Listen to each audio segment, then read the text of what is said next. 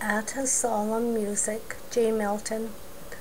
The power of music, through voice and verse, is a way to make a worshipful tribute to God here on earth. We do this until we can sing for all eternity.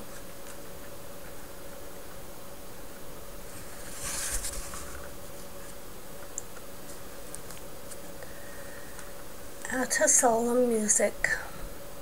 Blessed pair of sirens, pledges of heaven's joy, sphere born, harmonious sisters, voice and verse, wed your divine sounds and mixed power employ dead things within breathed sense able to pierce, and to our high raised fantasy present that undisturbed song of pure concent, a sung before the sapphire colored throne to him that sits thereon.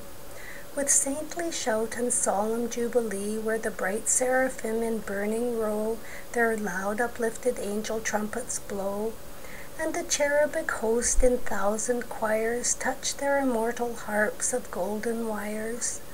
With those just spirits that wear victorious palms, hymns devout and holy psalms, singing everlastingly.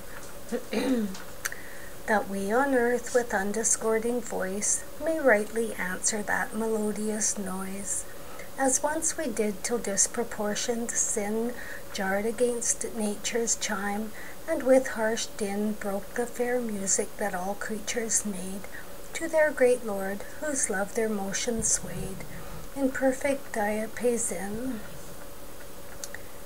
whilst they stood in first obedience and their state of good.